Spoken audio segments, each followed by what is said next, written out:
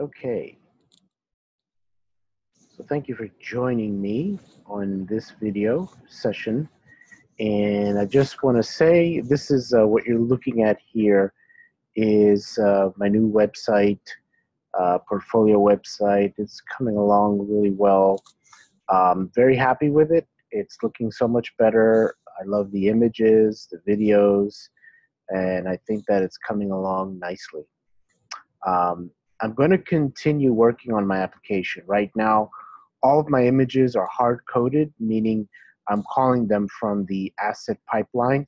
If you're not familiar with the Rails asset pipeline, I do have a couple videos uh, that uh, I've placed below in the comments section where I go over them. Feel free to watch those.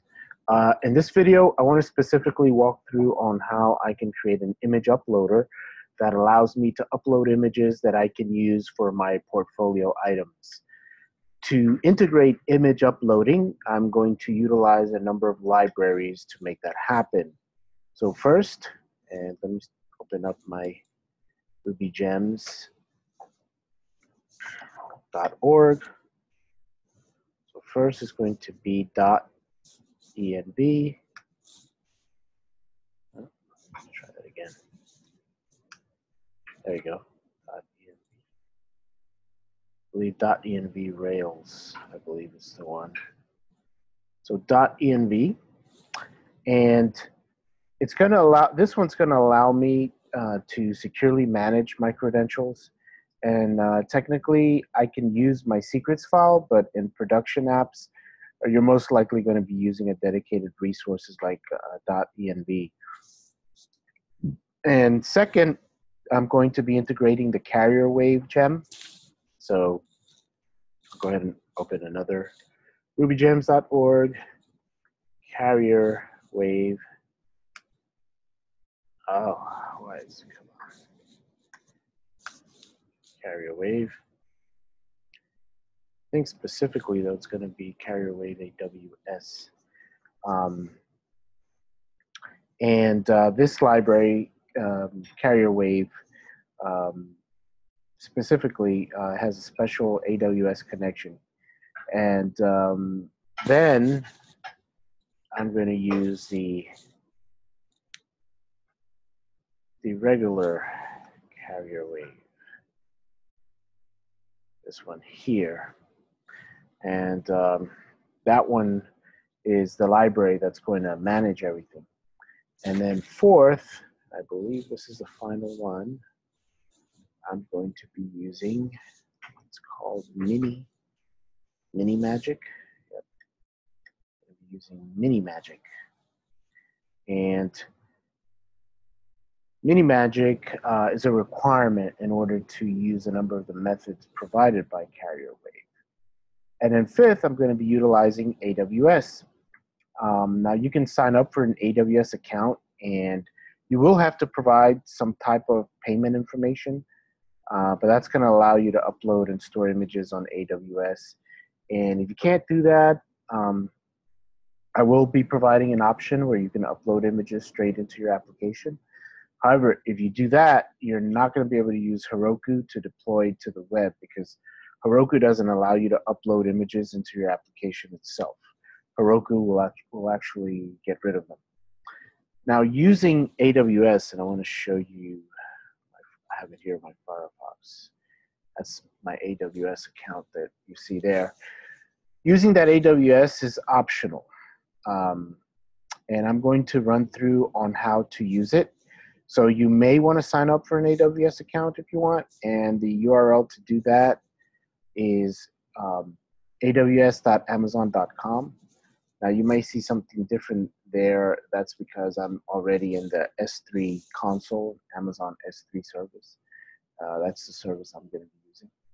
Um, and you can create an account there and have access to that AWS console. Now, uh, I want to talk about what I'm going to do. So I'm going to open up the, let me see if I already have this up. Close that. I'm gonna open up my gem file. Alrighty. Okay, this is my gem file. And what I'm going to do is I'm going to copy and paste Carrier Wave and Minimagick below in the gem file. Um, and then I'm going to do, uh, carry, well, I'm going to do Carrier Wave, AWS, Minimagick, Carrier Wave, and then dot env Rails.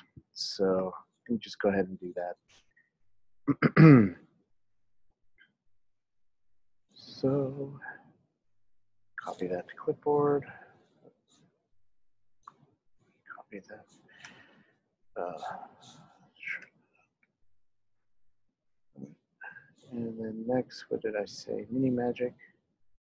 Sure I get that. Magic. Let close these as I'm doing them.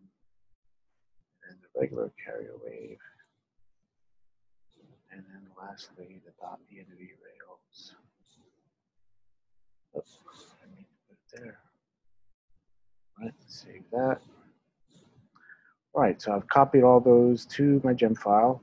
And now what I do is I go to the terminal and shut, the, shut it down and run a bundle install.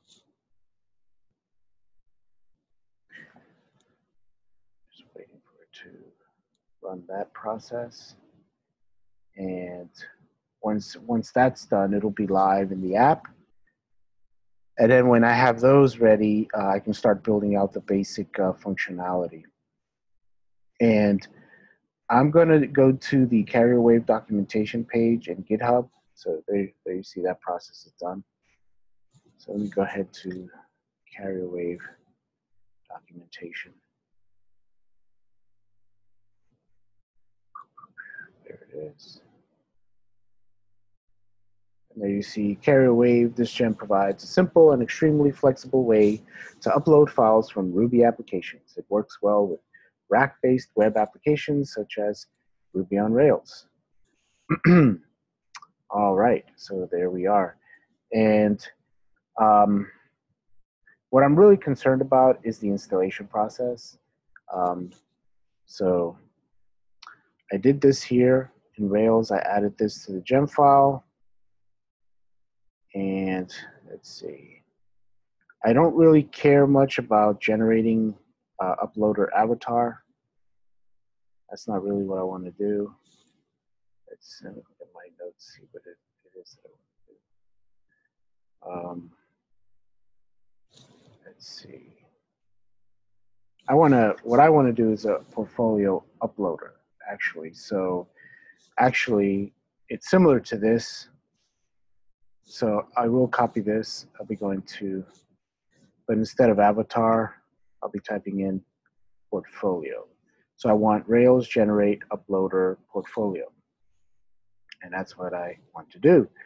And this is going to create a file. Let me hit enter. This is going to create a file that's going to be in app uploaders. And it's going to be called portfolio underscore uploader um, dot RB. And there it is right there. And then I'm going to go ahead to that file. So we've got app, uploaders, portfolio, uploader.rb. And I'm going to uncomment the extension whitelist. Let me see where it is. Uh, there it is. And what you can do is you can actually um, so what I did there, I did command. I put the, the cursor right in front of uh, def and I did uh, command and then I clicked on down um, and that creates that big line you see there and then I just back, backspace and it um, deletes the, it uncomments it basically. And what this is going to do is give me a nice set of validation options. So for example, if you try to upload a file that is not either JPG, JPEG, uh, GIF file, or PNG, uh, it's going to throw an, an, error, which is what I want because uh, I only want the right files to be stored, or else I might run into an error where I store, in, in, for example, an Illustrator file. And even if it allowed me to upload it, it may get an error when rendering it since HTML doesn't know how to render an Illustrator file. Um, I, I'm excuse me, I always use something like this because it's nice and handy. referring to the whitelist. So now I want to go to my portfolio.rb, okay, uh, which is my model file, by the way. And now I have to set up a mapping between my uploader and the database. And so uh, let me look at my schema file real quick. So if I look at my uh, schema file and particularly the portfolios table, I have a main image and I have a thumb image. So I have both of those. and I'm going to use these to be able to have my uploader, and those are the files that are going to manage it. Um, they're um, they're not going to store the images themselves because it's a very bad practice to try to store images in a database, but they will store a link that points to the image. All right. So the syntax of adding this is uh, I'm going to do here. Let's see. place the syntax under validates presence of. And uh, let's see. Actually, it's not doing that. It's called mount uploader. And then thumb image. And portfolio there it is, portfolio upload. So mount uploader um, tells the portfolio that it needs to call carrier wave because mount underscore uploader is a special method provided by carrier wave and the uploader will apply uh, to the thumb image and it's going to use the portfolio uploader. Now, why am I doing this? Why did I just do that there? Um, well, imagine a scenario where you have an application that has an uploader that has a whitelist for certain image files, but then you also have a file uploader for PDF files or, or something like that. You wouldn't want an uploader handling those two different file, those two different types of files uh, simultaneously. You want to separate your image uploader from your non-image uploader, just so you can be specific about your whitelist, your formatting, and so on. So I'm going to repeat this again, except this time this is going to be main image.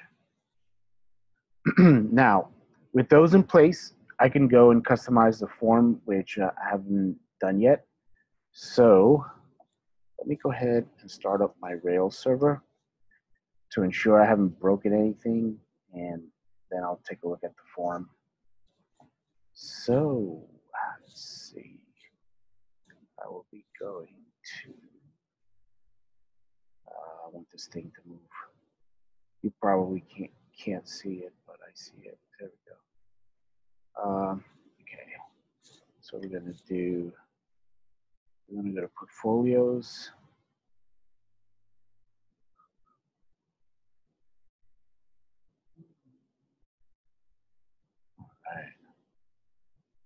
Now, what you're seeing here, I was going to wait to talk about this, but the placeholders are gone, and that's good. That means carrier wave, it's doing its job, and I'll, I'll explain that in, in a minute. Um, we're going to go to, to new. Ah, I need to be logged in. That's good. That's good. That means this application has been built in the correct way by me. So when I try to go to new, it won't let me because I was logged out. It just redirected me to the homepage. So that was actually very good behavior. I'll go to portfolios. Portfolios. And let's see.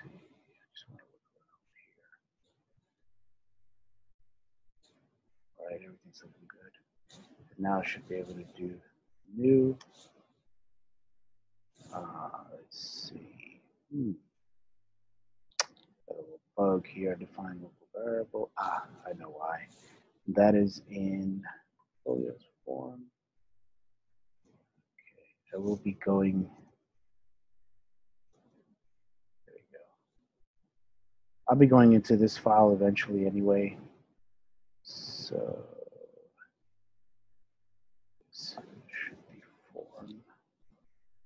And by adding form, that should take care of that. There we go. So basically what I did there, that how I fixed that little bug, um, if I pass in form in here, then when I'm developing the actual form, uh, I can't have what I had before, an F. Um, otherwise, for that to be an F, it would have to be an F in here. But if I put place form in there, then this has to be form. And so that's how I knew to correct that. Okay, so here we are. And let me pull up my notes. so I'm logged in. I opened up the form partial. Well, I'm going to open up. I did open it up, the form partial there.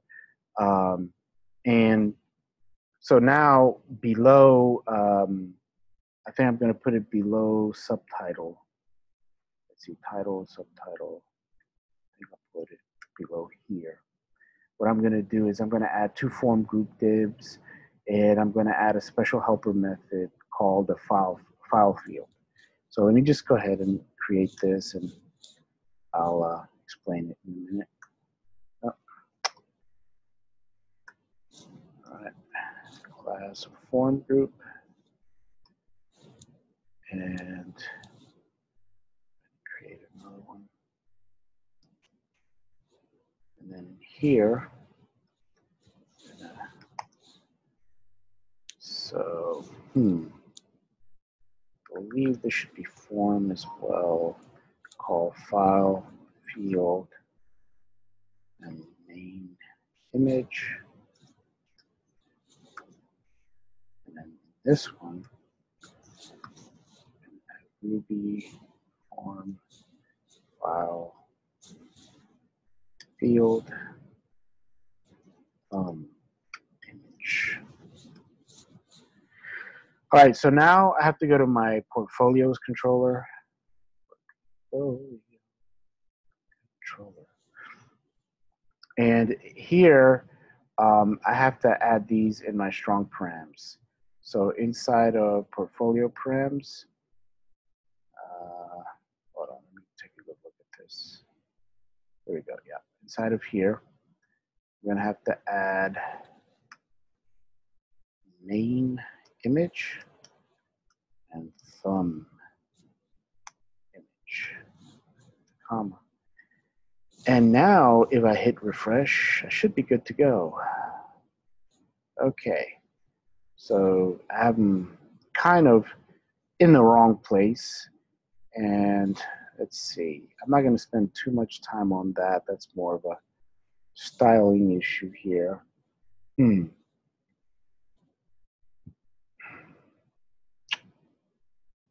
Interesting. I'm not going to worry about that now. I'll take care of that. I'll probably take care of this uh, offline because um, I want to continue with this lesson that's not a big deal there. Um, okay, so now I'm going to be uploading some images just to test it out. And this is going to be local, so there's no reason to load all the images that you want right now. So I'm just going to pick some random images, but hopefully something that looks kind of neat. So let's see. Hmm. I'll go ahead and upload that one. And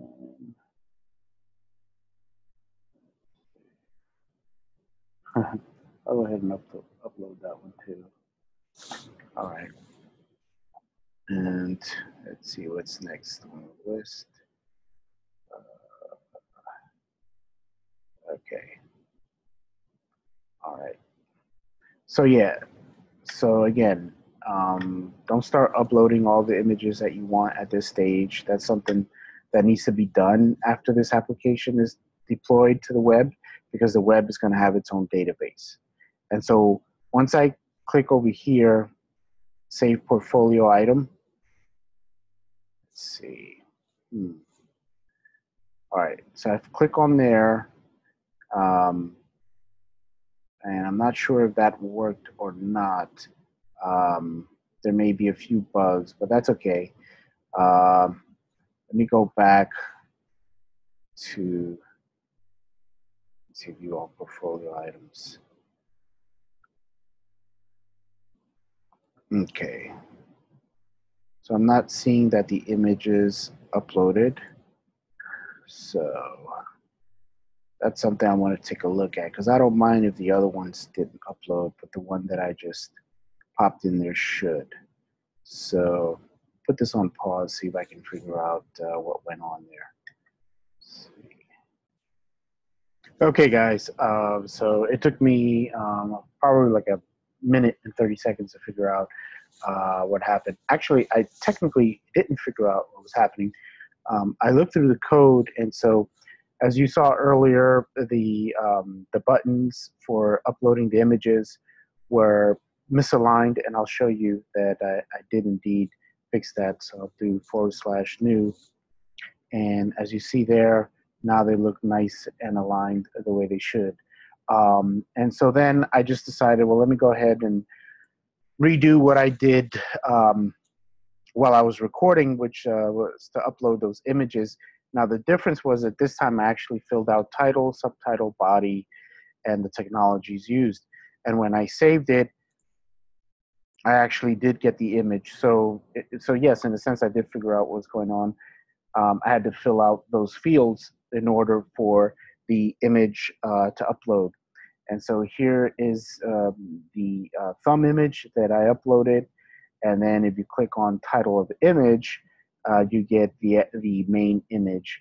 And now, of course, you're still seeing uh, a bug there. But again, just like I fixed uh, the la last bug, I'll be able to fix this one as well.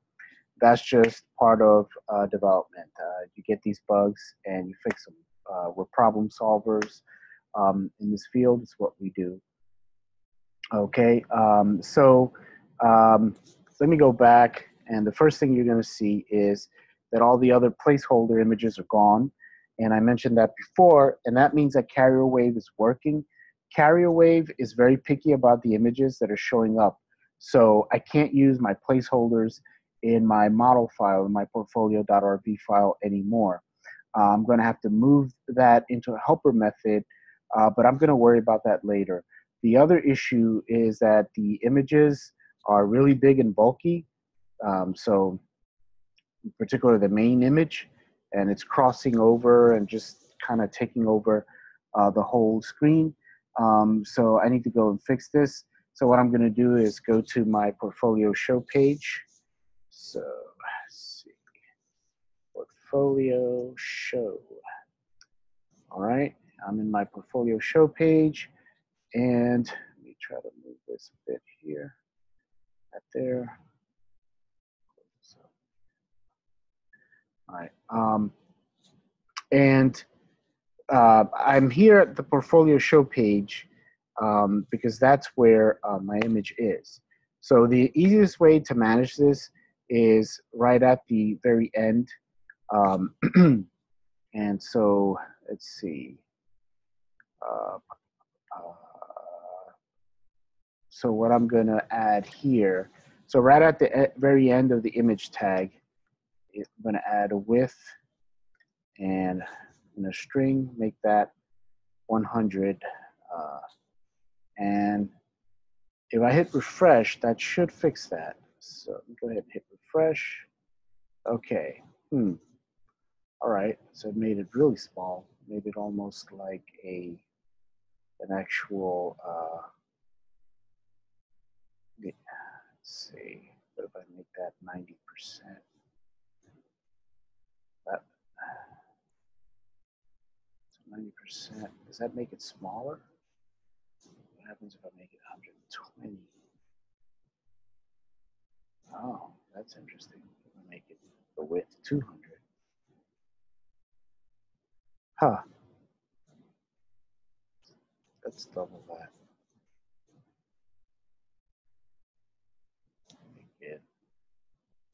800.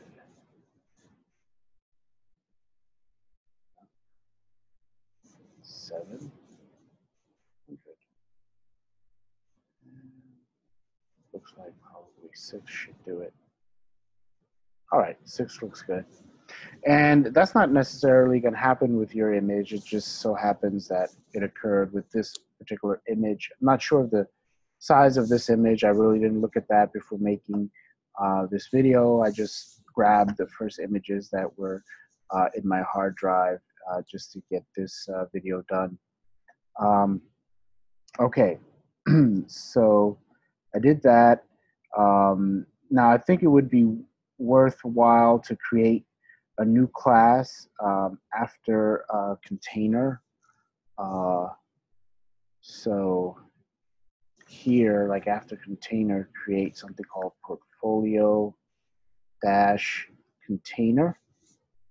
And if I do that, I am going to have to put that in the portfolio.scss um, file all the way at the end. And this is a class. All right. Um, and so we're going to make this, we make padding top. And I'm doing this because as you see here, it, uh, you know, it's touching this border, the top border of this image is touching the nav bar. So, see, it's, uh, there we go. Now, of course, that's going to break some other things because it uh, that new class uh, doesn't exist everywhere. So um, if I you know if I go to the form, it's not it's not going to be working. So if I do forward slash edit, yeah, see no route matches, uh, get portfolio, um, etc. All right, so what I'm going to have to do is um, I'm going to have to go to new. Uh, so where am I in this thing here? Let me close this out. So let me make sure I have this copied, portfolio container class. And I do have it in there. This is portfolios controller. I can Close that, close schema.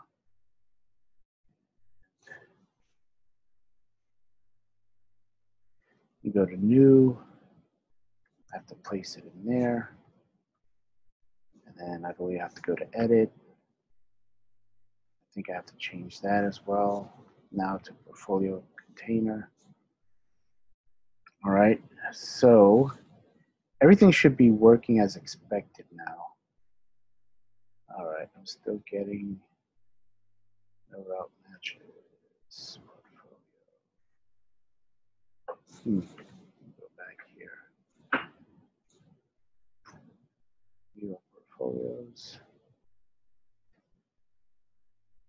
Okay.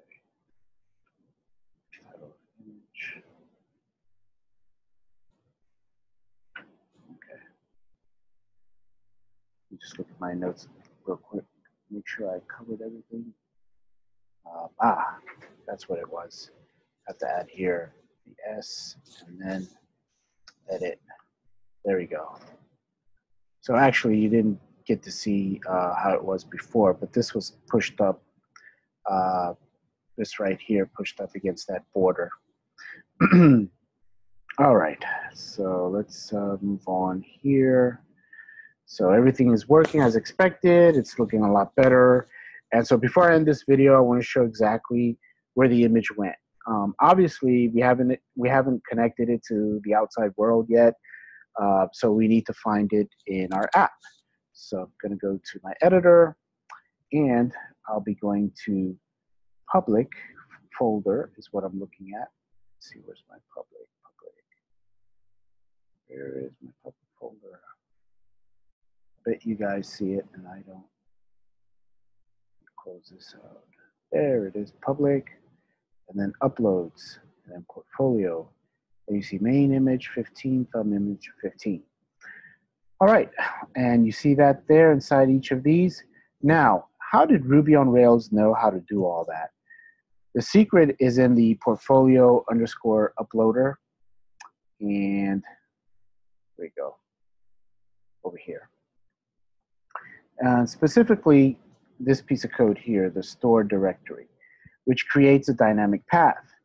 Um, it creates the path of, of the folder of uploads, and it takes the model class and turns it into a string, So that's what this means here. And uploads take model class, turn it to a string, to string, and then adds underscore, which in my case, uh, it's not really relevant because um, it's just going to name it portfolio.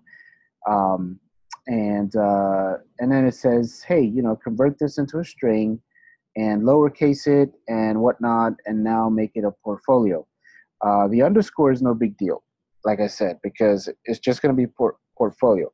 But in the case where there's more than one word, uh, it'll make more sense.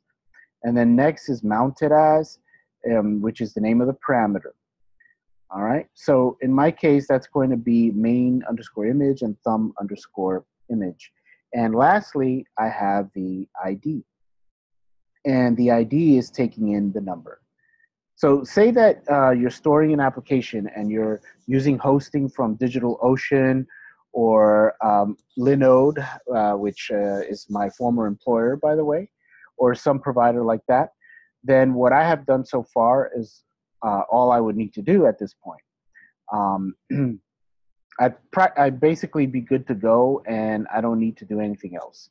However, this is not always the best uh, solution for certain hosting providers. Heroku, for example, um, is fantastic with Rails application hosting, and it's what I'm going to use later on. Heroku is really good at being efficient, and the way it's efficient is by not allowing you to do things exactly like this. You can't upload a giant video file because it can bog down their own servers. So if you tried this on Heroku, it would upload, and then within a few seconds or minutes, it would disappear. So all this would only work temporarily. I just wanted to show you one option. Um, for example, if you don't plan on deploying it to the web, then you can just do what I did here. Or if you're using DigitalOcean or Linode, you can just do what I did here. But later, I plan on showing you how to create something and store these files on a remote server and use something that is dedicated purely to file hosting, such as the uh, S3 system via Amazon Web Services. All right, so let me go ahead and save my work here. I'm gonna shut down, shut down the server, git status. And so if I move my Cameo from here, you can see a lot of different files that I worked on for this video. I'm gonna go ahead and add them all and then git commit and imp implemented initial, oops, initial file uploading system via Carrierwave for portfolio items. right? And then git push origin image management. There we are. Great. Now I'm ready to start connecting my uploader with an outside server and I will see you in that video. Thanks for watching.